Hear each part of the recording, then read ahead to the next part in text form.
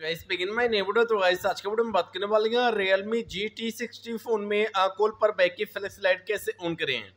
आपके पास भी अगर कोई किसी भी नंबर से कॉल आता है, आपकी जो बैक की फ्लैश लाइट है, अगर जलती नहीं है तो कॉल पर बैक की फ्लैश लाइट को कैसे आप जला सकती हैं? डायलर को देखिए ओपन गास कर लेना डायलर को ओपन जब कर लेंगे, ठीक है, यहाँ पर थ्री डॉट पे आपको गास क्लिक कर लेना है। यहाँ से देखिए बैक आते हैं, हम थ्री डॉट पे गास क्लिक कर लेना है।